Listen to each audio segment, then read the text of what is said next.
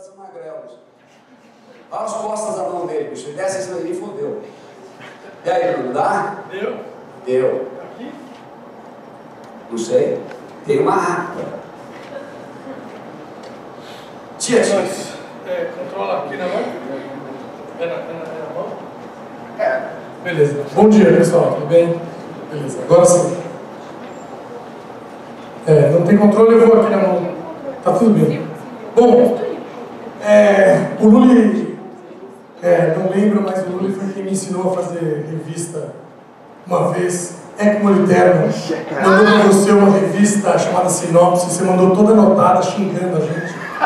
A gente inventou, eu não sabia fazer revista.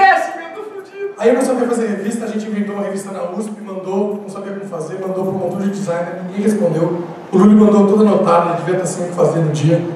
E aí foi assim que eu assim, aprendi a fazer revista. Tipo, coisa básica, tipo, é, a, colunas tem que ter o mesmo espaçamento, sabe uma coisa assim? Mas ele não lembra disso. Bom, assim como histórias antigas, é, a gente se conhece desde, sei lá, pelo menos uns 20 anos, a gente começou eu, com os meninos, a gente começou a fazer quadrinhos desde que a gente começou a esboçar alguma coisa. E a gente conheceu um lugar chamado Estúdio Pinheiros, fundado por Domingos Takeshita.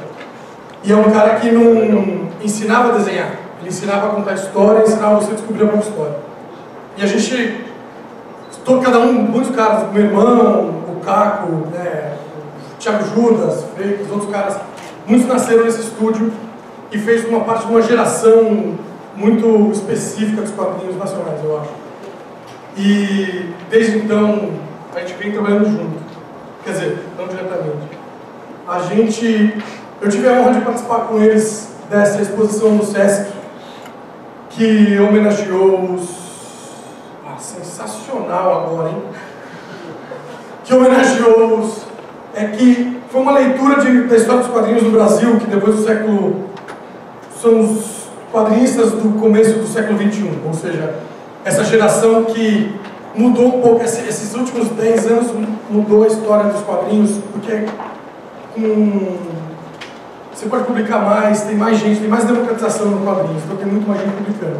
E tem uma primeira geração e eu fiz, eu acabei por poucos livros, acabei fazendo parte, e os meninos fazem parte muito mais dessa história. Então, essa, essa história de muito tempo a gente tem junto, é, esse ano a gente também acabou participando junto desse, desse livro que foi feito em três dias sobre o começo das manifestações, né? quando ainda a gente, todo mundo acreditava que a gente podia mudar alguma coisa, Laerte estava nesse livro, Montanaro, Grampata, todo mundo. Então essa intimidade que a gente tem me deu a permissão de trazer essa palestra para cá. Essa palestra nasceu de uma mentira, na verdade, eu preciso confessar. Essa palestra é um grande engano. É, eu tenho o costume de ir no, no, escritório ou no ateliê dos meninos, os meninos são os gêmeos, e num dia desses que eu fui tomar café da manhã lá, porque eu estava indo escanear alguma coisa que a gente tinha que fazer junto, eu vi o Fábio, eu vi uns esboços do Fábio de tentativa dele de começar um estudo de fazer as próprias fontes. Não só as, as próprias fontes, mas fazer os próprios balões, a letra dos balões. Eu conheço eles há 20 anos, eu sabia que nesse período todo tinha sido uma, pelo, pelo volume de produção que eles têm, eu sabia que era uma coisa, uma, uma coisa bem especial. E eu sabia que estava diante de uma coisa especial, e eu falei assim, putz, que legal, vocês deviam... Aí eu falei para o Fábio, ou para o Gabriel, eu falei, pô, vocês deviam fazer uma fonte. Já que você está fazendo tudo na mão, por que você não faz um montão, a gente vetoriza e faz uma fonte? Aí eles, meu, não está falando, nada a ver, estão tentando ainda começar a fazer uma fonte. Bom, passado alguns dias, eu encontrei com o Christian Cruz para falar de alguma outra coisa, eu acho que nós dois estamos pedindo demissão das empresas que a gente estava, saindo das agências, e a gente foi tomar, sei lá, um vinho verde, alguma coisa em português, e eu acho que eu estava um pouco bêbado. E eu falei, nossa, Cris, você não sabe, os gêmeos estão fazendo a própria fonte. Aí eu jura? Que animal, vai ter o dia tipo, você não leva os caras para contar essa experiência? Sensacional, vai ser incrível contar essa experiência para todo mundo, como eles estão fazendo a própria fonte. Aí eu tinha que falar com os caras que vão dar palestra. Alô, Bá, tudo bom? Ô, Bruno, e aí, beleza, beleza? Então, cara, aquela história de vocês fazerem a própria fonte, acho que vamos levar lá pro dia tipo para contar a história deles. O Bá falou, não, Bruno, você falou que gente tinha que fazer isso. Aí falei, é, foi? Aí caiu a ficha, Falei, ah, pá, mas aí até, até aí o Diego já tinha feito, já tinha aparecido foto, no lugar já tinha convite, falei, não, então peraí. Aí a gente começou entre nós, falou, não, tem uma história aqui.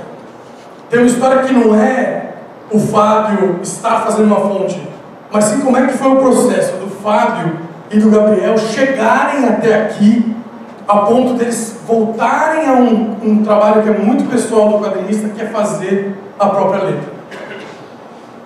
Vocês têm um cara muito conhecido do universo de vocês, aqui eu vou apresentar muitos caras diferentes, mas esse cara é do universo de tipografia, e eu lembrei disso quando comecei a montar a palestra, eu lembrei que tem uma frase dele, na verdade ele fala quatro vezes a palavra ubiquitous, que acho que nunca vi alguém usar tantas vezes a palavra nesse filme, ou em qualquer outro lugar.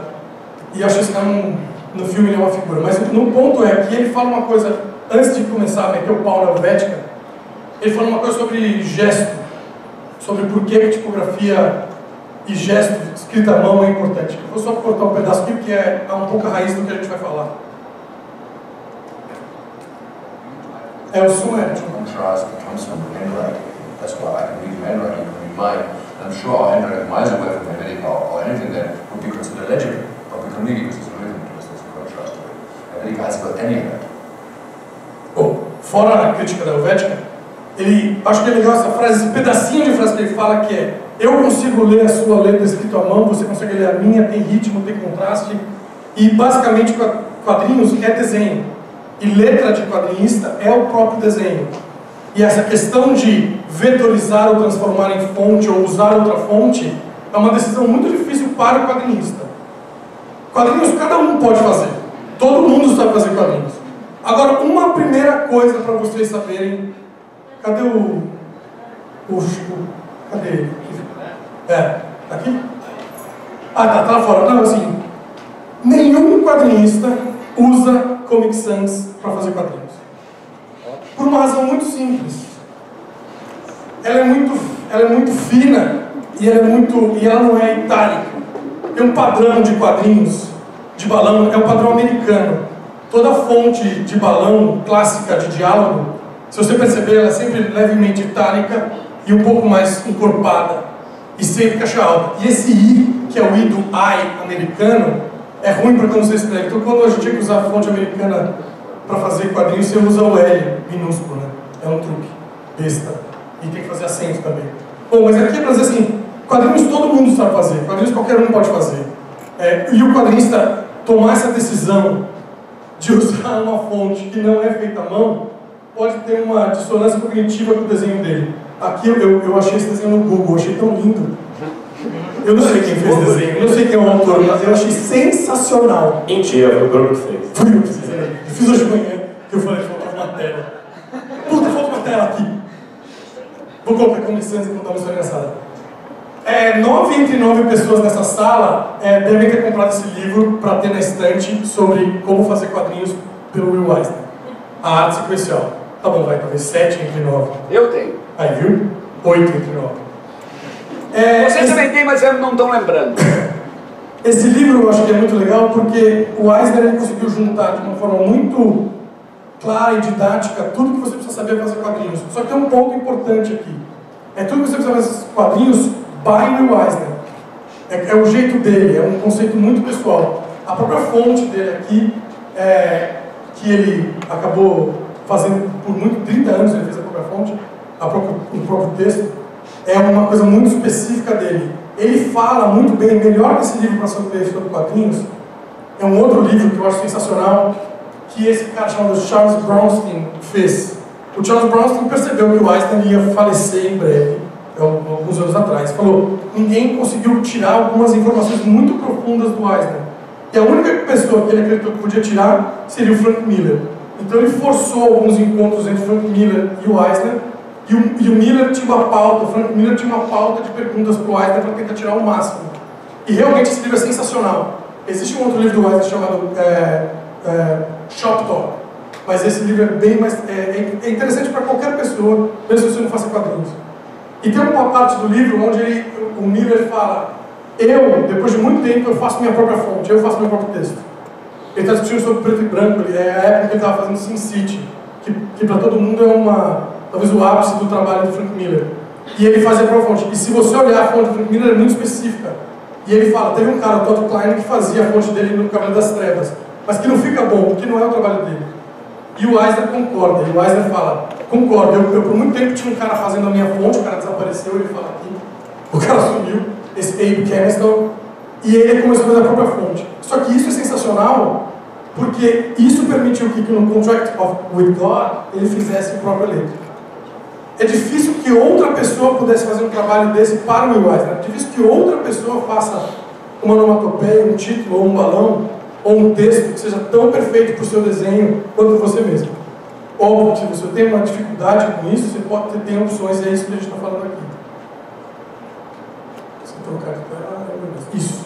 Esse aqui é uma, um exemplo de uma, do trabalho dele. É sensacional. Assim como o trabalho dele, um desenho do Eisner é é incrivelmente complexo e ao mesmo tempo simples, a letra que ele desenvolveu, as letras que ele desenvolveu, os tipos que ele desenvolveu, para situações diferentes, como elas se comportam, é uma decisão muito complexa e é uma decisão que só pode ser tomada por quem faz o desenho, nessa hora.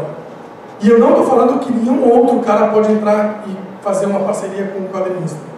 Muito pelo contrário. O mercado americano e o mercado europeu tem uma diferença muito básica. E tudo que eu estou falando aqui, na verdade, é uma introdução muito simples do que a gente, do que eu falar para os O mercado americano tem essa tradição de ter um letrista, essa tradição de existir um letrista.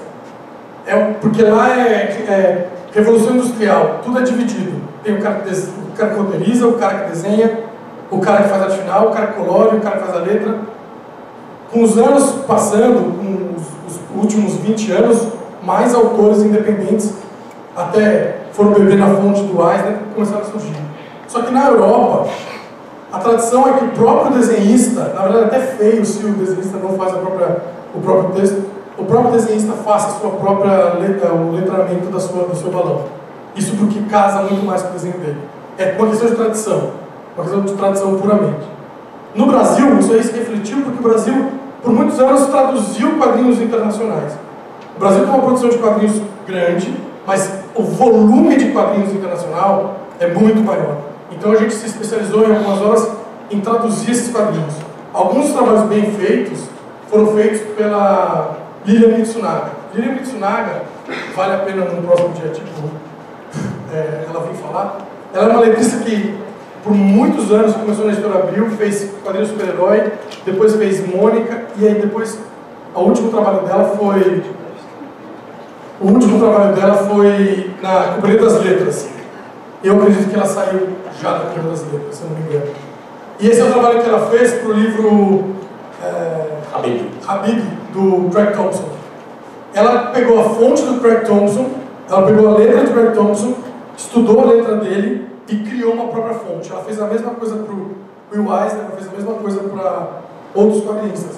Só que se você perceber, está muito bom, está casado, mas o E é o mesmo. O D é o mesmo, o N é o mesmo. Não tem variação. Não tem variação. E que é engraçado porque no final vocês vão ver o trabalho do Craig Thompson como ele é um ignorante quanto à a, a, a, própria letra. Só que ela também faz um trabalho incrível. Isso não quer dizer que está errado. Ela fez um trabalho incrível. Aqui é um bom exemplo de por que quem adapta e quem traduz tem que entender de tipografia ou tem que entender de fonte. Essa é a versão original do Asilo Arkham, que foi publicado ah, sei lá, nos 80 e pouco, pelo Bill Sienkiewicz. Bill Sienkiewicz. No Brasil, no Brasil, as chapas vinham separadas de... A pintura vinha separada da fonte. Normalmente isso vem muito na, na, na as cores vêm separadas da chapa branca, da chapa preta, né? Do filme preto. Só que aqui era mais complexo, tinha que refazer tudo. E a Lilian mencionada refez. Ela tentou fazer a mesma pegada, só que quando a Panini relançou, essa arte aqui já ou tinha sido, eu não sei qual é a história por trás disso, se ela foi perdida ou se não podia usar mais. E os caras adaptaram para o computador. Claramente você vê quando perde o trabalho. E claramente você vê que tem que ter um profissional por trás. Esse é o ponto. Então, aqui entra a história de. Então, como é que a gente faz? E aí, esse foi o desafio que o Cris, quando a gente estava tomando vinho verde, comendo bacalhau, falou. Como é que você conta para os tipógrafos brasileiros, para as pessoas que trabalham com isso, para os designers, como é que, se existe esse mercado no Brasil, se existe essa parceria, se existe esse lugar onde eles podem trocar. Então aqui eu começo a falar do Fábio Gabriel. Eu vou começar a falar deles, não pelo trabalho deles, que nada melhor do que eles falarem do trabalho deles, mas eu vou situá-los na história. É, então eu vou passar muito rapidamente por, por alguns quadristas brasileiros, bem rápido mesmo, para que eles possam falar do que é mais importante, quais são as decisões que eles tomaram na carreira deles, que é uma carreira de sucesso, e, as, e como a tipografia e a letra entrou, e quais são as decisões históricas que entraram. Então eu vou falar um pouco exatamente de, de quadrinho brasileiro. Bom, o pai do quadrinho brasileiro é o Agostini, que fazia esse trabalho incrível ali do século XIX. É, esse aqui é o Don Shot, que é, era um jornal de crítica social que ele tinha, de, não era notícias. Ele tinha alguns personagens, é, como o Zé Caipora, e, e, é incrível o trabalho dele. Não só o trabalho de desenho dele, como o trabalho, esse trabalho de títulos que ele faz. Acho que é sensacional. Ele é um cara, na verdade no Brasil tem uma confusão, e vocês vão ver aqui na história, tem uma grande confusão entre quadrinista, cartunista e chargista. Essa é grande... Se você, quem não é quadrinista, sempre vira para o cara ah, você é cartunista? Não, não sou. É uma explicação, né? Quem faz histórias em quadrinhos, conta histórias, quem faz tirinha e quem faz charge. O Brasil tem esses caras que fazem tudo. E o Brasil tem, porque historicamente a gente tem, o humor foi muito marcado na nossa história. E o Agostinho é meio culpado por isso também você me contou alguma coisa da vida tirar foto. É, os personagens mais famosos, eu acho que tem da história do quadrinho brasileiro é o Rec Rec Bolonha Azeitona. Você já deve ter ouvido esse termo alguma vez na sua vida. Rec Rec Bolonha Azeitona.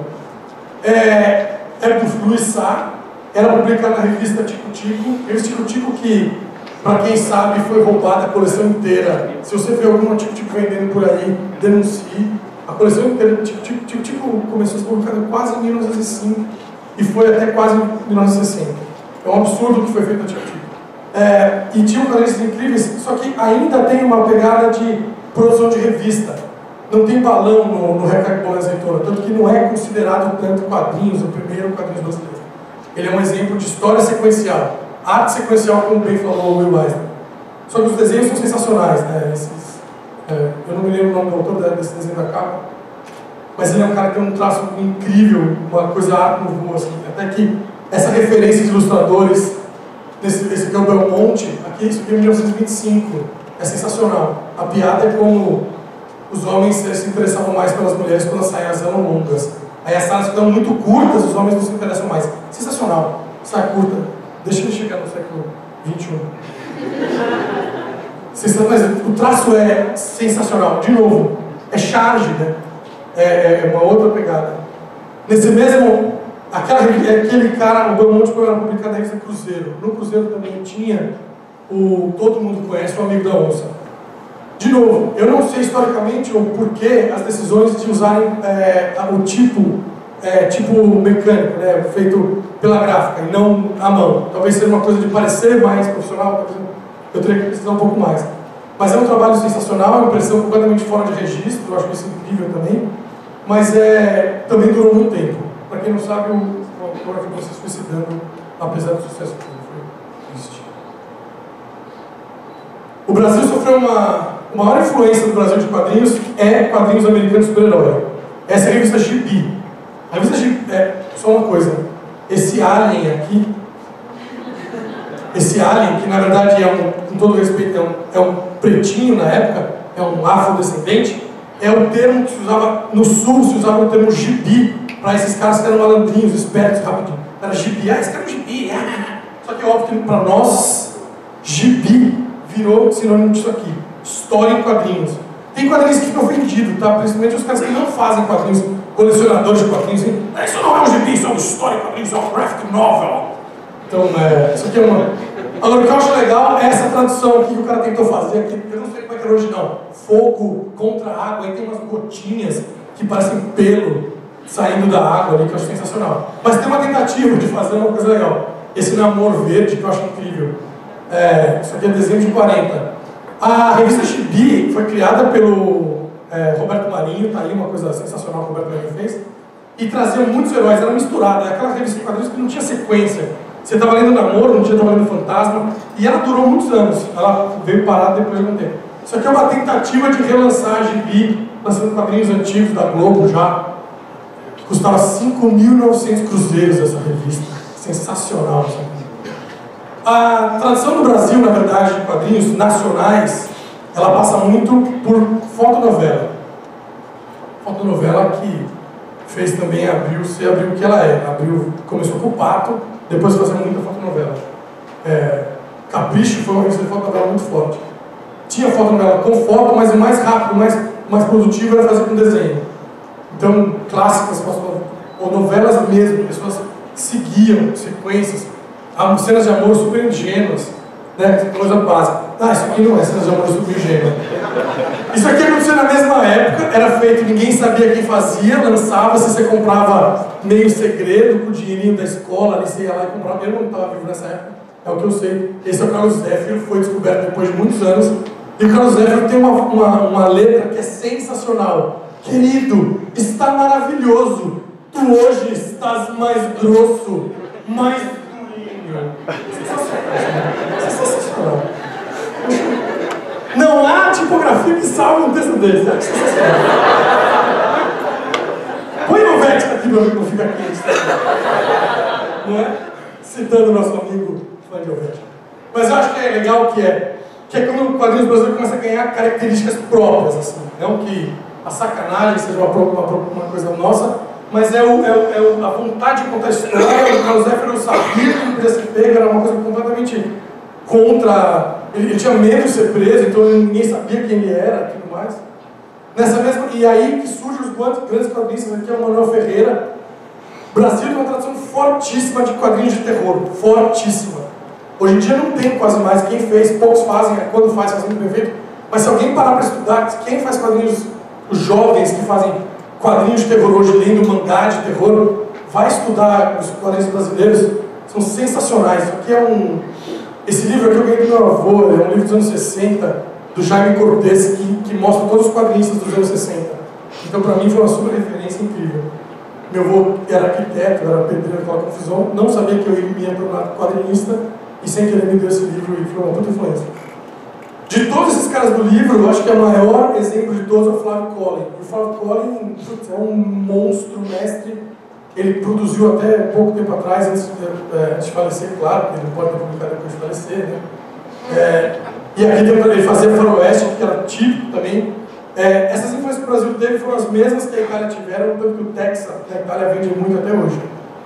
E, e eu acho sensacional, aqui é o melhor exemplo para mim de a própria letra do próprio autor. Eu acho incrível essa vírgula, eu acho incrível esse, esse bico de pena que é ponto, é, ponto de exclamação, como o espaçamento entre letras é, ou entre, entre, linhas é pequeno, ele desenvolveu um acento que fica para o lado. Eu acho, eu acho incrível, eu acho que é sensacional uma outra marca, e é uma marca de quadrinhos, que é como ele, ele tracejou, como vocês viram o Fábio fazendo para fazer a letra, o O dele ser maior, ele adaptou um O que ele é cortado, ele, ele fica meio quadrado. Mas olha que sensacional essa, eu, eu acho sensacional essa, essa fonte, se dá pra gente chamar de fonte. Será que alguém aqui não vai pegar e tipo, sair daqui empolgado, sair correndo para o seu Illustrator e fazer, digitalizar as coisas do Flávio Collin e botar para fazer depois? Colin Sands. Hã? Sensacional. Nesse mesmo livro tem um jovem autor, jovem autor, que resolveu desenhar a filha dele, e foi adaptando a filha dele e colocou, e, e essa filha dele tinha 50 espalhadas pela cidade. É, e ele também tem um trabalho, sem perceber, ele, ele tem um trabalho tipográfico importante. Essa fonte aqui só, é, só pode ser usada para coisas do Monte Souza. Óbvio que isso aqui já é uma evolução da fonte, se você for olhar como ela foi, como ela nasceu, por que, que o peso dela é assim, é o traço do Maurício Souza, é o traço dos personagens. O que eu acho mais sensacional é a sujeira do Cascão, essa rachura, ele se apropriou da rachura na letra O. A letra O, as letras todas, eu acho isso acho uma marca importante.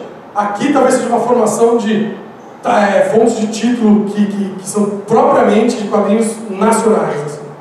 Um outro cara que é um exemplo incrível disso é o Ziraldo. Para mim, o Ziraldo, a maior marca da fonte do Ziraldo, ou seja o que for, é o externo redondo e interno quadrado. Isso aqui é, só pode ser Ziraldo, isso aqui.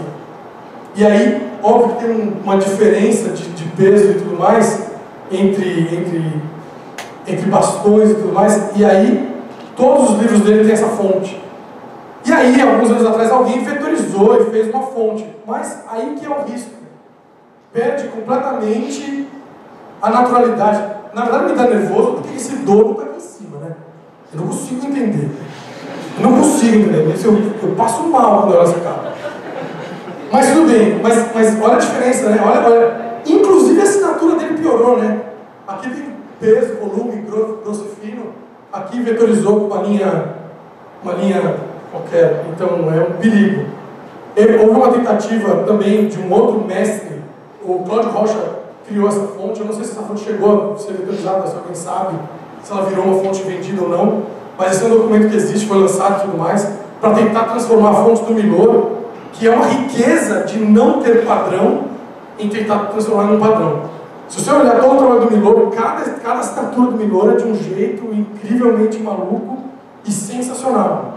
Tentar organizar isso é, uma, é um trabalho hercúleo, eu acho que essas letras, essas três letras A que aparecem aí não conseguem, mas é uma boa tentativa de, de tentar organizar. Até porque, na mesma época do Milor, a gente tem o Jaguar, que é um outro gênio, que tem isso, se apropriou um pouco disso, porque o Jaguar era meio apropriava um pouco de todo mundo, ele era mais um editor, um contador de, de piadas e tinha esse trabalho. E, mas o trabalho do, do Jaguar é muito específico. Então, de novo, outro exemplo do trabalho de programa. E quando a gente fala de falta de método, mas genialidade e quadrinhos nacional, a gente está falando de enfio.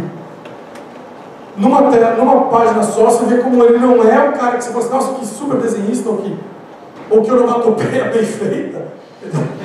Mas é sensacional, não pode ser diferente. Quem poderia fazer outra? Coloca aqui um tipo do Batman. Pô!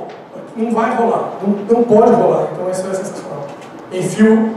Aqui começa um outro universo do Brasil. Aqui o Brasil começa a ganhar realmente uma voz e um tom. O que vai influenciar os próximos brasileiros é o trabalho que é feito fora do Brasil. Esse é o Crumb, sensacional, não é o melhor exemplo do trabalho do Crumb, mas é o que eu achei que tinha mais tipos nele. Mas quem realmente dá um tapa na cara é Jean Giraud, vulgo Moebius. E essa é a primeira página do Incal, que é, é sem noção. Os quadrinhos franceses, os quadrinhos anos 60, anos 70, esse volume de produção underground alternativa que nasceu, veio para o Brasil de uma forma absurda e aí mudou todo mundo aqui. Aqui só para ter mais um desenho do Jorge Rô, que é sensacional. E o reflexo disso foi a revista, revistas como Circo, que lançou caras como Laerte, BG, lá todo mundo, né, que lançou, na verdade já, já tinha os fanzines deles, revista Balão, mas o que veio parar na nossa mão quando a gente era menino, e aqui que, aqui que a nossa geração começa a ser influenciada. Então tudo que a gente contou até agora é a história do, do Brasil. A gente começou a ir para a banca, a gente lia super-herói. Eu digo para mim eu digo mesmo para eles. Você vai na banca todo dia você compra super-homem, super-homem, ou uma vez você compra Mônica. Um dia você chega na banca, tem o Rancherox na, numa revistinha, você abre, tem uns desenhos absurdos, aí você descobre que não tem regra, você descobre que não tem limite, você descobre que nada mais te segura para você fazer o que você quer fazer. Então, você não precisa desenhar super-herói forte para contar sua história. Você não precisa desenhar uma menina engraçada para contar sua história. Você pode fazer o que você quiser. O reflexo disso foi grandes livros underground e alternativos no Brasil, Chiclete com é um deles. E esse é o maior exemplo de chargista, cartunista, quadrinista que temos no Brasil, que é o Angeli. Então, só para citar a fonte do. Aqui a letra O do Boris Souza, é uma referência que o Angeli fez, né? começa a viajar, né? Então o Angeli aqui faz uma homenagem à Mônica, citando a fonte. Tem uma tese da USP que prova aqui. E tem um gênio que não tem dúvida do que ele é, que é o Luiz G, professor do Mackenzie. Luiz G, monstro, killer, quem foi aluno dele já deve ter tomado porrada, mas é o, é o Han Solo dos quadrinhos. É, esse trabalho que ele fez com o. Como é que chama o músico? Arrigo. Arrigo Barabé. esse é o primeiro quadrinhos musicado da história. Então, o, o Laerte fez o primeiro quadrinhos com, com partitura. E o Luigi fez o primeiro, ele e o Rei Panamera, o primeiro quadrinhos que é um musical. Que são os Tubarões Voadores. Sensacional. Tem um filme da HBO, tosco, que fizeram Tubarões Voadores. Esqueçam. Luigi, Brasil, fomos primeiro. Impossível falar desse cara, talvez a maior saudade que a gente tem de todos, que é o Glaucão. Glaucão que tem cada história dele melhor que a outra. Só que esse desenho do Glauco, homenagem ao mestre, na verdade ele tem uma introdução ao que verdadeiramente é o melhor exemplo quando a gente vai falar da maior, uma das maiores referências para Fábio Gabriel e talvez o nosso Will Eisner brasileiro. Se você perceber, quem fez o personagem de fundo foi o Laerte. Provavelmente quem fez a letra também. Provavelmente eu ia falar isso. Quem fez a letra, que tá linda essa letra, foi o Laerte. E o Laerte fez. O Glaucão deve ter feito um, um esboço. O arte final foi o Laerte que fez. Certo? Ou seja, esse é Glauco, uma história curta do Glauco para vocês. Foi sensacional. Laerte. Comi muito a senhora sua mãe. Piratas do Tietê. Laerte, hoje, ele é uma referência de vida. Para nós, ele foi uma referência de vida antes de Antes do externo ser o que ele é para as pessoas hoje, todo mundo comenta do Laerte pelo que ele é por fora, mas quem, como a gente conhece o Laerte desde pequenininho, nós pequenininhos, o Laerte grande, é, o Laerte sempre foi isso, e não tem nada a ver com gênero, número ou grau. Tem a ver com que o Laerte é a arte dele, e o Laerte é a coisa mais complexa e mais perfeita do mundo. Para eu parar de falar um pouco, vamos uma sequência, uma sequência de páginas escolhidas por mim, pelo pai, pelo Fábio, que mostra exatamente o trampo do Laerte, para vocês verem que não deve nada a o Eisner com outra coisa. O Laerte é um mestre supremo é, na Terra. E humilde pra caralho.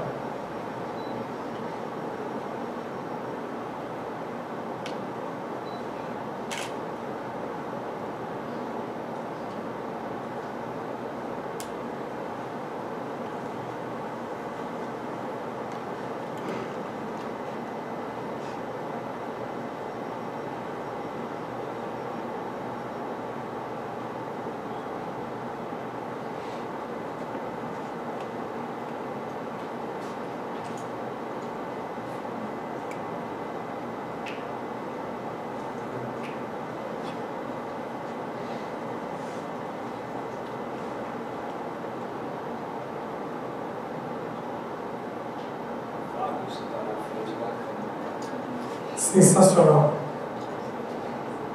É, o Lertão, o Lertão ele junta tudo. Junta traço, simples, mas quando ele precisa de um desenho mais complexo, quando ele com onomatopeia, balão, ele faz tudo, mesmo e faz de uma forma além. É, nesse universo todo que eu contei para vocês, tomei mais tempo do que eu queria, mas foi bom. Tem uma tela aqui que conta, nesse universo de anos 90, quando computadores e xerox eram uma coisa comum, nascem os fanzines. Nos fanzines, nascem e se desenvolvem os 10 pãezinhos. Senhores. Ah, aí. Isso. Com vocês.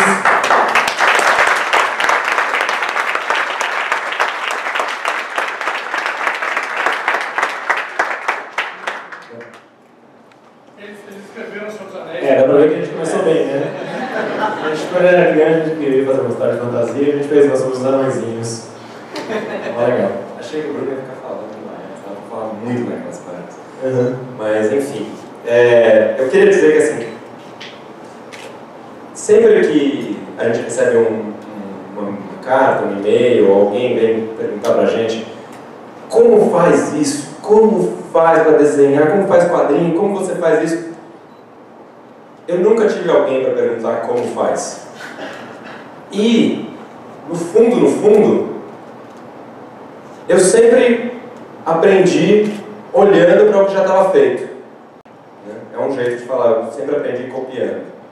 É, então, eu, via, eu lia quadrinhos, eu via coisa nas revistas, via coisa feitas e pensava, ah, é assim que faz. Então, é só fazer igual. Muito do que a gente for da evolução do nosso trabalho foi disso. É, evolução intuitiva. É, Tentativa e erro, cópia, cópia, cópia, tentar entender. Então, aqui é um exemplo bem básico, tosco, de. É assim? Aham. Ó, isso aqui, início da década de 90, trabalho de Scocolo ainda. Então, ó, é a mesma letra. Não é que eu inventei essa letra. Eu vi ali e gostei. Né? É, E aqui você vê o nosso esmero nas outras letras. Não tem. Então não tem essa coisa de ah, tudo tem que ficar bonito, tudo tem que ter um. Não, o título tem que ficar bonito, a letra eu copiei, e o resto, né? É um, um samba do crioulo doido. Mas você vê, ter logozinho da editora ali, preço, número. Que que eu não inventei isso? Vi nas outras revistas, achei que revista tinha que ter isso. Então, esse é um exemplo de como a gente começou a aprender a fazer as coisas. Outro exemplo, se passar para Ah, passou para frente. Não, volta. Fica. Fica. Volta. Aqui. Outra revista, mesma época. Uma fui eu que fiz, outra foi o Fábio que fez. É legal essa coisa de irmãos gêmeos, porque a gente estava sempre tendo que fazer a mesma coisa no colégio, lia os mesmos livros, lia as mesmas revistas, tinha que fazer os mesmos trabalhos na escola, fazia quase igual. Né? Então você vê, mesma letra. Né?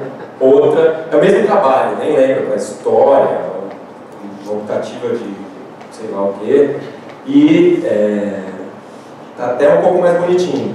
Você vê, naquele lá eu tive que tirar o xerox colorido de um desenho, pôr aqui, esse aqui o Fábio fez tudo à mão. Aqui, nesse aqui, ó, é só para mostrar essa é historinha que a gente fez durante o colegial, que esse M é esse M. Né? É, eu não achei nenhum exemplo melhor da Malibu, eu não lembro se as outras letras tinham. Tinha também as outras letras. Tinha, né? É. Mas só Malibu, era aquilo. A gente sabia como teve o M, o A, o L, o I, Malibu. E o resto a gente tinha que que inventar. Pensando, ah, a letra é assim, talvez fique assim. Né? Até isso aqui, ó, esse último dos estudantes, é por causa daquele filme Último dos Moicanos. Então você vai ver que a fonte era essa, né? veio um ai, sei lá. E aí a gente fez lá, Último dos Estudantes. E aqui é a nossa letrinha à mão mesmo, normal. Ó, aqui ó, é, do Estúdio Pinheiros que o Bruno falou, e no Estúdio Pinheiros, isso aqui era tipo uma propaganda do Estúdio Pinheiros que eu fiz para aquela revista lá, para não ficar por fora. Porque essa coisa, revista tinha propaganda no meio, então na nossa revista tinha propagandas no meio, todas feitas à mão. Essa era uma propaganda do Estúdio Pinheiros. Essa fonte aqui era a fonte do professor, do TAC. Ele tinha essa fonte quadrada, com essas serifinhas e sei lá o quê, que era muito específica, combinava com todo o trabalho dele. E, e aí vocês veem, essa é uma história que eu fiz enquanto eu estava lá, que a fonte está aqui. É a mesma fonte. E aqui essa história, acho que foi uma das primeiras que eu fiz, que eu passei nas linhas, e fiz as fontes do mesmo tamanho. Né? Você vê que tem também aquele logo de um jeito, esse logo de outro. Aqui, né, um momento de transição 90, essa revista é de 93, essa aqui é de 94. O momento de transição é, nesse momento, a gente já tinha um computador. A gente comprou um Macintosh LC2 em 1992. Só que a gente tinha umas coisas na tela e não tinha impressora. Não dava para imprimir, tinha uma impressora boa, então era uma, frustração. Você tinha umas fontes, poucas fontes, bonitinhas, só que você podia imprimir. Então, tinha uma fonte, que era essa aqui, que eu não lembro o nome, se alguém souber aí, levante a mão, é, que eu achava legal, porque era mais assim, mais quadrinhos, assim, tipo de quadrinhos. E, só que o negócio era escrever o que a gente queria e copiar à mão, e fazer esse volume, tudo à mão. Aqui era um ano depois, já tinha impressora. Então, é a mesma fonte, outra revista. Né? Essa aqui já é mim. Nessa época aqui, é, 94, a gente estava lendo um monte de coisa. Entre elas, o Sin City, do Frank Miller. É, o Frank Miller é um dos, exemplos, um dos exemplos de quadrinista que usa muito, ele faz tudo hoje em dia, e ele usa muito as letras para ajudar a contar a história. Então ele usa muito a onomatopeia. Né? Aqui é uma sequência bem boa, de várias onomatopeias, onde cada barulho tem meio que uma letra diferente. Mas todas combinam com o desenho. A letra do balão e o próprio balão um pouco mais torto, porque ele está gritando. Mas ao mesmo tempo que a gente estava lendo isso, a gente estava lendo isso. Porque era início da década de 90, a entrada do computador na produção de quadrinhos, então as cores deram uma surtada e as letras também, né? as onomatopeias, tudo era possível. Né? Era o início de poder usar o computador, então era a vida sem limites. Às vezes para o bem, às vezes para o mal como bem sabemos. Né? Mas a gente estava lendo isso, era aquela coisa, ah, é isso que os quadrinistas profissionais fazem. Né? Aqui outro exemplo, outra revista. Né? Então, os títulos começaram a dar uma variada, e degradês, e cores, e títulos de história, e onomatopeias, e cores, e balões. Céu é o limite. E aí, a gente fazia isso aqui, época. Esse era o nosso trabalho. Então você vê, é a mesma onomatopeia. Mas como eu fazia? Eu escaneava os gibis, pegava a onomatopeia que eu gostava, ia no freehand, pim, porque não tinha curva, ou eu não sabia fazer né? E desenhava as onomatopeias que eu gostava. Aí eu tinha aquela onomatopeia, não tinha uma fonte, mas tinha aquela onomatopeia. Aí eu podia aumentar, diminuir, sei lá o quê. E imprimia, fazia o tamanho que eu queria, imprimia e colava nas minhas páginas de quadrinhos. Então eu tinha as onomatopeias que eu via no gibi, no meu, no meu quadrinho. Essa aqui também, ah, não dá para ver muito, né? dá para ver aí? Não, né? Essa fonte aqui, eu eu não, soube, eu não soube lembrar que fonte é essa mas que a gente usava muito. Por quê? Porque era uma fonte que tinha cara de quadrinhos. Não era igual a que a gente via no gibi, mas ela era toda maiúscula e era bonitinha e tinha cara de, de quadrinhos. Mas era ainda essa vontade de fazer igual, mas com as limitações que a gente tinha na época. Aí teve um cara, que é o Richard Starkins, que a gente lia nos gibis e tinha lá letras, Richard Starkins Comic Craft sabe o que será Comicraft? Comicraft era a empresa dele, ou seja, devia ser lá os dois, três amigos dele também, e eles faziam letra para um monte de gibi americano. Um monte. E aí, a gente, ele, a Comicraft, o que, que ela fez? Ela começou a vender fontes. Eles faziam as fontes e eles começaram a vender fontes. Vem fontes de de efeitos de onomatopeias, como essas daqui, por exemplo. Bom para título, onomatopeia e tudo. E fontes para fazer o balão. Com opções, né? Então, o que, que aconteceu com isso? Meio que democratizou a possibilidade de fazer um quadrinho com uma fonte, com uma letra profissional, que a gente não tinha antes. Né? Então, qualquer um podia fazer um gibi que ia ser igual ao que você lia, igual ao que você via na banca. Né? Então, ele fazia esse gibi, por exemplo, ele fazia as letras. Então, tinha lá o título do, da revista, o título da história. Isso aí, aqui tem outro. Ó, título da história né? com as fontes, você, vê você conhece aquelas fontes lá, né? Estão aqui. 2i.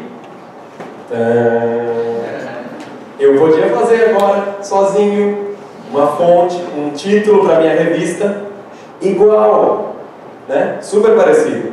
E aí, nessa época, era dois, três anos depois daquelas primeiras revistas que a gente mostrou antes, então eu já sabia usar o freehand melhor, já sabia fazer volume de traço, mudar a altura da, das letras, o tamanho. Esse logo quem fez foi o Fábio. Eu sabia, mas o né? E aí o que acontece? Aí a gente ousa, né? Então, faz história em sete partes, onde você pode colocar o logo no meio da capa, né? Aqui, igual todas as revistas que a gente via, tinha data, o preço, número 1 de 7, 2 de 7, 3 de 7. Então, de uma hora para outra, a gente pôde fazer um gibi que era igual a qualquer outro gibi. Eu acho que isso ajudou muito também ao Girassol e a Lua se destacar em 97, quando a gente fez. Era um fanzine que não tinha cara de fanzine, tinha cara de gibi. Né? A gente podia fazer letras, fica ruim, né? assim, expandir.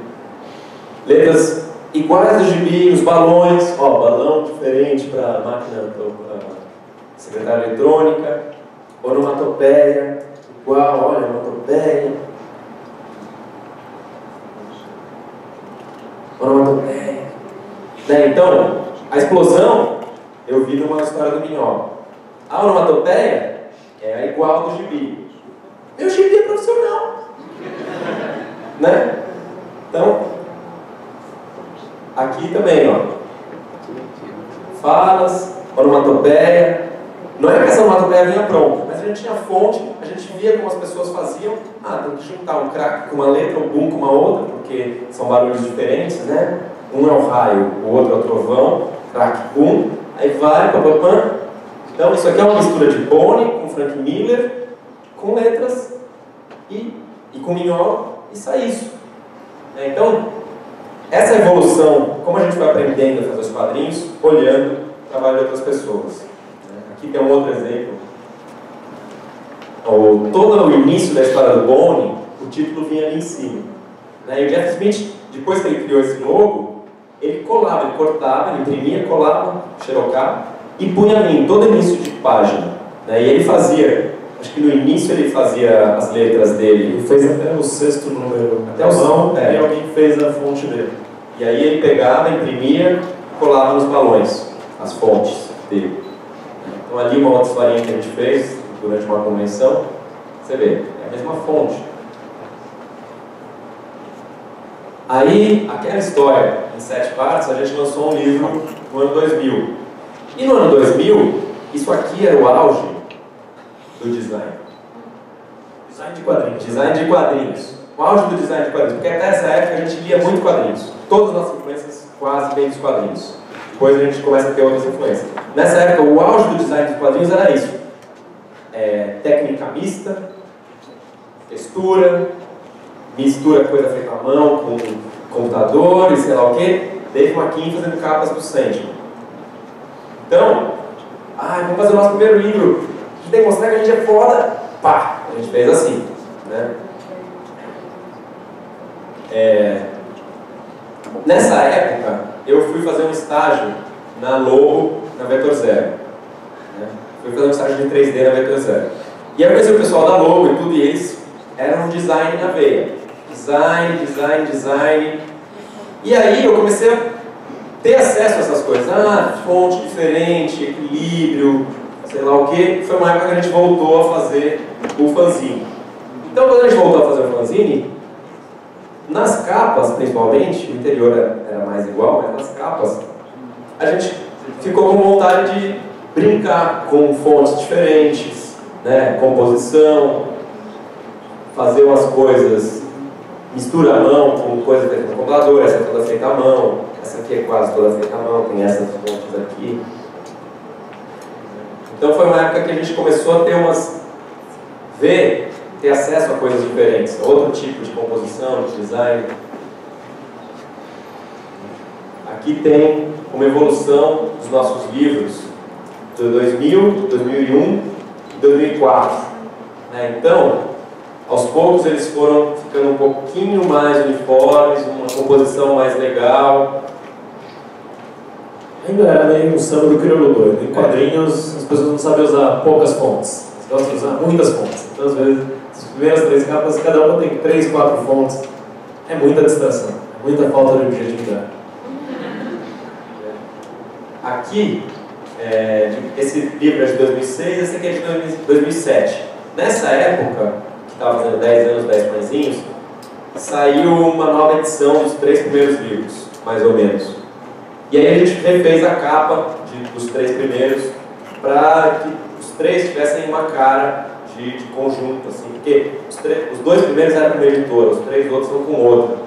Mas, se as pessoas fossem procurar, procura pelos 10 pãezinhos e que todos tivessem uma capa parecida para ser fácil de achar. Já que o quadrinho é difícil de achar hoje em dia, ninguém sabe onde está, está na livraria, escondido, numa estante mal organizada. Então, se eles fossem parecidos, é, cada um é uma história, cada um tem um título, alguma coisa tinha que ajudar. E aí a gente continuou fazendo quadrinhos, continuou tendo, vendo trabalhos novos e tendo outras influências. Se, quando a gente começou a fazer quadrinhos, a ideia era, eu quero ser igual a, ao que está na banca, né? então a ideia era ser igual a todo mundo, é, aos poucos a gente foi percebendo como alguns artistas têm um trabalho muito pessoal que combina com o trabalho dele, né? ele faz tudo, e, os, e isso nos agradou mais, porque a gente cresceu lendo Laerte, fazendo tudo, então a gente nunca foi muito é, fã dessa coisa seriada de um escreve, um desenha, um faz a letra. Então, por exemplo, esse aqui é o trabalho do Sérgio Topi, que era um italiano, que a gente conheceu em 2003 no FIC. E você vê, ele faz tudo, o, até o balão é uma coisa, é um elemento gráfico, porque é sempre redondo, não tem, não é oval, é sempre redondo, e aí tem o rabinho e as onomatopeias, como fazem parte do desenho, né? tudo combina. E esse, tipo- esse, isso daí influenciou, por exemplo, o trabalho que a gente fez, que é esse aqui, né? que era o Smoking Guns. Então você vê, a gente ainda fazia os balões no computador, com a letra no computador, mas as onomatopeias a gente começou a fazer mais vezes à mão, para combinar com o desenho. Né? Ia ser muito difícil fazer essa onomatopeia, misturar com o desenho desse jeito, se não tivesse que fazer no computador. Aí aqui tem um outro exemplo que é do Paul Pope. Né, O Paul Pope é outro cara também que faz tudo à mão, tudo sozinho. né, E como o. Nossa. Como as, as onomatopeias dele, as letras, tudo combina com, com o desenho dele. É super expressivo, feito com pincel. né. Tudo é um elemento gráfico. E aqui um outro exemplo de aonde isso influenciou um pouco o nosso trabalho, no mesmo trabalho de Smoking Guns. Essa letra, essa letrinha. né? Aqui foi o primeiro, não foi o primeiro porque a gente fez um rolo de 99, mas foi o, o primeiro trabalho mais é, de produção industrial que a gente fez nos Estados Unidos. É uma minissérie, Casa Nova, que um cara escrevia, o Matt Fraction, eu desenhava, e tinha um cara que fazia as letras e as onomatopeias. E a primeira vez que a gente teve um exemplo real de que A fonte é importante. a fonte é importante. E um trabalho que não combina com seu desenho pode atrapalhar, pode travar a leitura. Né? Então, é, mudar a cor da, do, do outline da letra, ou os balões serem muito, muito apertados, ou aqui, esse, essa onomatopeia tem aqui um, como se estivesse rachando, da mesma forma que aqui está explodindo, ela está um pouco explodindo. Uma coisa que 10 anos antes, quando a gente estava começando a fazer quadrinhos e lia Generation X, essas coisas, combinava. Mas hoje em dia eu não queria mais isso. né? Mas o letrista fazia. Aí a gente é, refez essa edição, o Casa Nova, ele saiu por uma outra editora, é, quatro anos depois. A gente mudou de letrista. Um letrista que fazia à mão. né? Ao contrário da indústria inteira, ele fazia as letras à mão. E ele fez umas letras que combinavam um pouco mais com o desenho. Além de ser tudo colorido, em vez de só preto e verde, gosto do preto e verde. É, as letras eram mais. É, até, sei lá, digamos, mais educadas. Elas não vinham com o pé na porta assim, no desenho. Eles combinavam melhor. Né? Até os balões, eles têm mais espaço, a letra, é, você lê melhor o que está dentro dos balões, ele aproveita melhor o espaço. Na versão preto e verde, parece que tudo fica apertado. Ó, aqui é um outro exemplo dos quadrinhos quando eram é, feitos é, preto e verde. Você vê, aquela onomatopeia sumiu, ela está verde em cima do verde, né? balões todos apertados, e aqui como ficou depois na outra opção. Tudo bem que a cor ajuda, mas você vê, tudo respira melhor, usa melhor o espaço.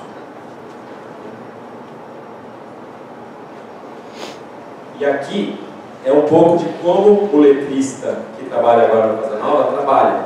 Ele imprime essas, um papel cheio de, de, De de linhas Não, não tem que ficar fazendo aquilo que eu fiz no vídeo, as regrinhas, não, aquele negócio é um saco.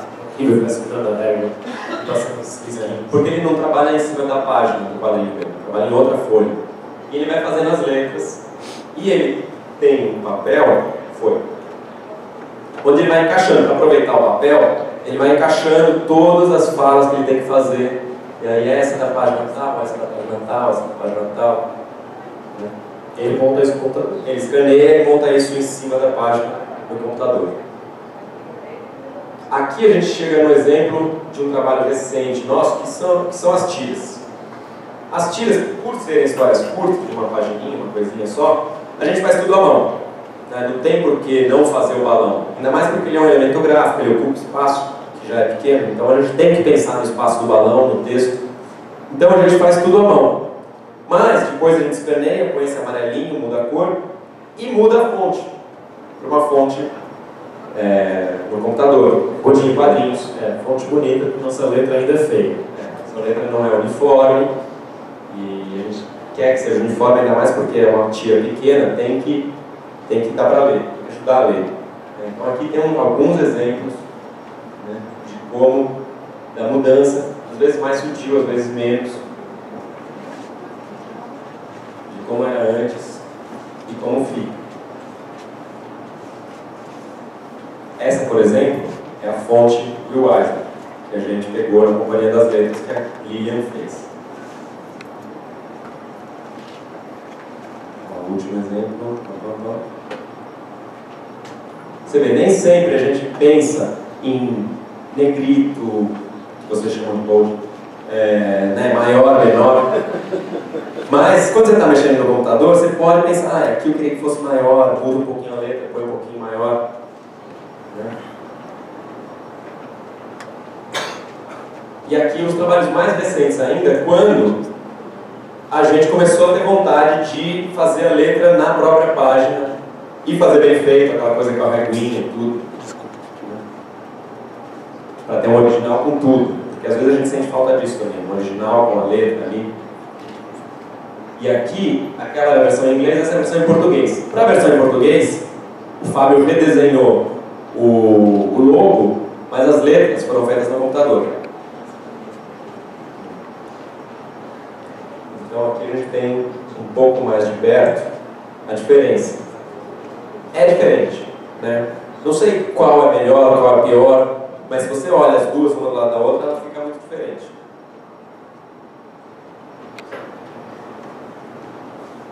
E aqui tem outro exemplo, uma história Que assim não dá pra ver. que assim não vai dar para ver, mas a gente tem um zoom, que é, aí foi o contrário, ela é em português, essa é em inglês. Em português é a letra do Fábio, em inglês é a letra de computador.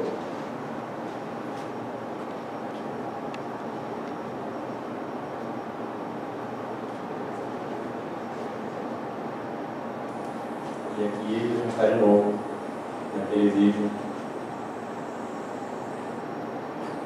Que no fundo, essa coisa de fazer a letra na página é para que tudo vire um processo só.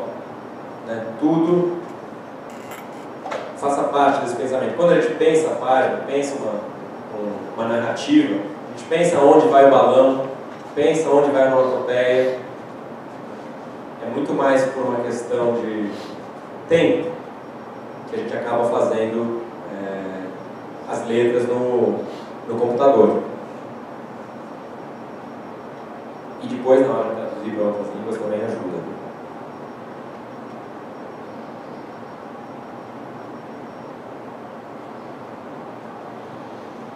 Esse desenho aí era só para o Fábio escrever umas letrinhas para poder filmar para a gente mostrar hoje. Mas aí ele quis fazer um desenhão enorme, se empolgou. Ficou horas ontem esperando ele terminar, filmar. É. E era um pouco isso. É, tem. Agora entra naquela parte. É.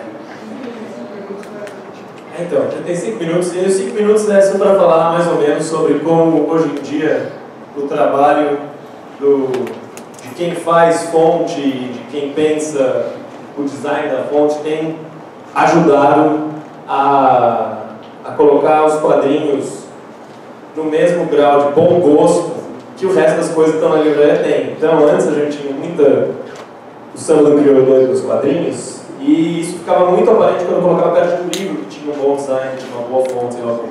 Então, hoje em dia, eh, tanto as pessoas que fazem a mão, como as pessoas que fazem a letra no computador, eh, eles pensam em tudo para que fique mais harmônico.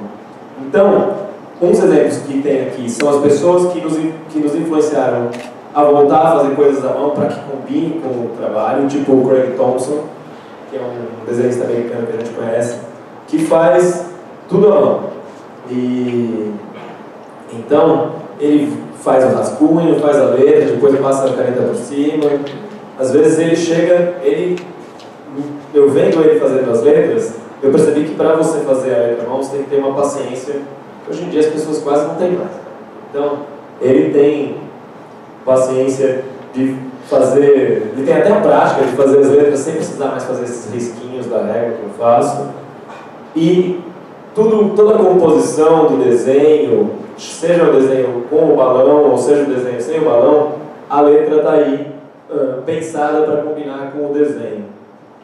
E aqui, ó, é tipo, ah, um dia depois que eu acabei o livro, eu preciso passar uns dois dias só fazendo letra, numerozinhos que vão do lado da página, né?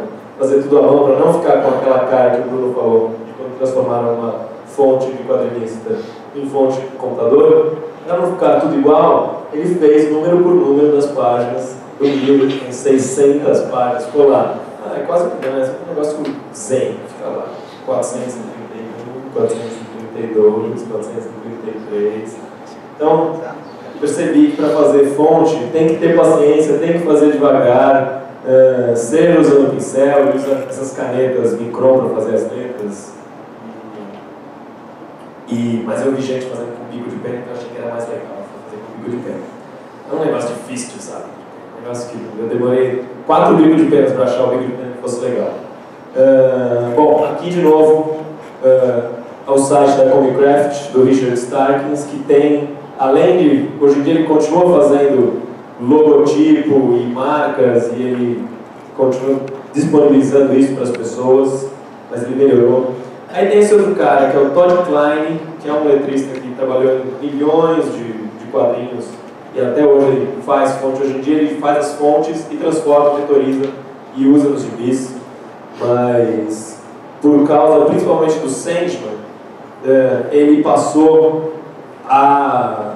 Ele que popularizou essa ideia de que quando você tem uma história com vários personagens, cada personagem tem uma fonte que também reflete uh, aquele personagem em específico. Então ele foi o cara que popularizou isso fazendo à mão, hoje em dia ele faz isso tudo no computador. E ele tem um blog onde ele fica analisando fontes e analisando uh, o logo na capa, como funciona, como está equilibrado, da onde veio, vai buscar a referência. Ah, esse logo é uma evolução daquele logo, daquela letra feita à mão, hoje autorizada. Então, para quem gosta de letra, é legal, às vezes até analítico demais para ver no site do, do, do Todd Klein. Aí, essa foi a matéria que o Bruno viu por acaso ontem, assim, terminando de mostrar, montar a apresentação, uh, o Bruno viu um livro que estava analisando a construção da fonte e uh, o uso da fonte para funcionar nos quadrinhos, para remeter a uma fonte antiga. Então, você vê, até a gente que prepara a palestra achando que a gente já sabe tudo, chega na última hora e vê que alguém lançou um livro com uma discussão super legal sobre um negócio que a gente nunca tinha ouvido falar, mas que ajuda a entender a evolução da fonte, como usar, para dar uma cara uh, específica, nesse caso aí, dessa cara, uh, de como dar a cara de época para o gibi feito hoje, vai parecer um gibi feito nos anos 40, 50. Uh, e aí, quem, quem, o site, quem falou desse livro é o Nate, uh, que é o cara. O Nate não, é o Sean. Sean. Esse é o Nate? O do Não, é o Nate, é o Nate, é o Nate. A gente confunde. São os dois letristas aí que a gente trabalha. O Nate, ele tem esse site da Bruno Bolt, ele também faz fontes uh, para quadrinhos, ele faz os balões. E ele é um cara que tem transformado várias fontes de artistas em fontes de computador. Então, o Jeff Smith, que a gente usou o exemplo, transformou a fonte de Smith em fonte de computador. O Pope, que a gente mostrou outro exemplo, ele fazia uma fonte com pincel, ele transformou a fonte dele em uma fonte de computador. E, e enfim, né, esse é o site dele, Blambot, da onde vieram várias das fontes que a gente usa, eh, principalmente as fontes de graça que tem ali para baixar. E, e aí, uh, para outro exemplo que a gente pegou foi esse Rodolfo, esqueci o que, que o M quer dizer, é um brasileiro. Então a gente descobriu um cara brasileiro que faz fontes e trabalha para o mercado de quadrinhos também. E eu achei legal, a gente foi achar o site dele só porque ele acabou de fazer uma fonte para um quadrinista francês. Então o quadrinista francês vinha aqui para um festival do Brasil e aí ele não tinha nada traduzido em francês. E aí um site se oferecer um site que publica quadrinhos online, se oferecer para publicar os quadrinhos dele, e esse Rodolfo foi fazer a fonte, transformar a fonte dele à mão numa fonte de computador. E o cara ficou super impressionado com o resultado, porque é uma fonte também que tem toda uma cara lá, que é orgânica junto com o desenho dele. Então, eu achava que isso era uma possibilidade para quem faz fonte no Brasil, e aí eu descobri que eu que fiz a minha pesquisa de já tem gente aqui no Brasil fazendo fonte que podem ser usados por quadrinistas pelo mundo inteiro. E, e aí, uh, outro cara, esse cara aí é um cara holandês que mora na, na, Inglaterra, que a gente conheceu recentemente, mas que eu tenho visto o trabalho dele, porque eu trabalhei em umas antologias nos Estados Unidos, que ele fez o logo e ele fazia umas letras, então ele tem é um cara que trabalha com design, faz fonte, não é do meio dos quadrinhos, mas como gosta de quadrinhos, foi lá esgueirando e hoje em dia ele faz a fonte e a identidade visual, tanto da letra como do logo, como do, da, do design da capa, de vários gibis, uh, que é um cara que chama Tom Miller. E, então ele tem um trabalho extenso de trabalhar com fontes, tanto fontes de grandes editoras, fonte de filme, fonte de livro, como fonte de gibi independente ele faz um monte de coisa dia. E ele é o cara mais design que eu conheço, que faz fonte para gibi, para não ter cara de gibi, para ter cara de tudo, assim, para combinar com qualquer coisa. Tá lá do lado do pôster de cinema, combina. Tá lá na livraria, combina. Tá lá, sei lá, numa loja de tatuagem, combina. Então, é. E aí, a gente termina com o nosso logotipo de horóscopo do, do dia tipo e os nossos, nossos, nossos ah, sei lá, endereços virtuais, onde a gente fala mais dessas pérolas do conhecimento. Sensacional.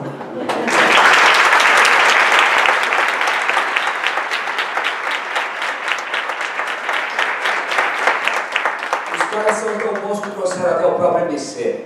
Vamos para o MC! Bruno!